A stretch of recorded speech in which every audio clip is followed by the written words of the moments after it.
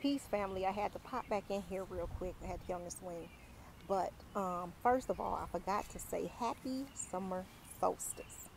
Now, before I make somebody dizzy who has vertigo, let me stop. Um, this is a time to be quiet with your creation. This is the third confirmation I got.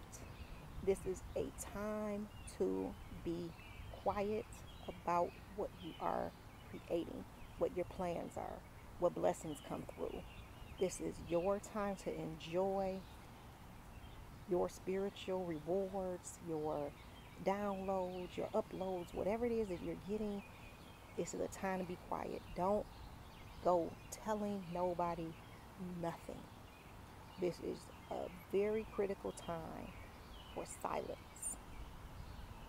When it is time to tell or speak or you know um, invite people into your your your creation, you'll know. But right now, and this is like urgent that you listen. This is a time to be quiet. This is a time to be quiet.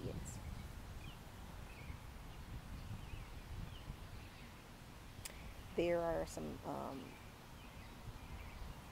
things Spirit is pressing to me to, for me to say um, that has been said to me repeatedly.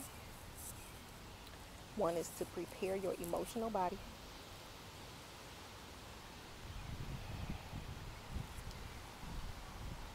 Not to get caught in your emotions with the events that are going to be occurring soon. Um, balance your emotional body.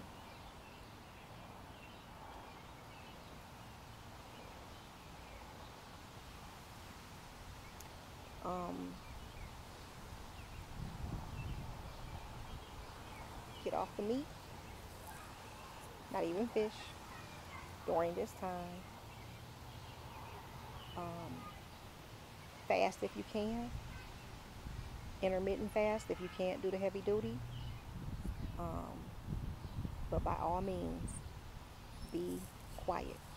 Don't get on social media talking about, you know, your plans and everything you're doing. Be quiet, family. Be quiet. And those people who are on your um, on your um, vibration, they'll be able to pick up and give you messages or um, whatever the case may be with that. But this is the time to be quiet. Enjoy your summer solstice, and I will talk with you soon. Peace.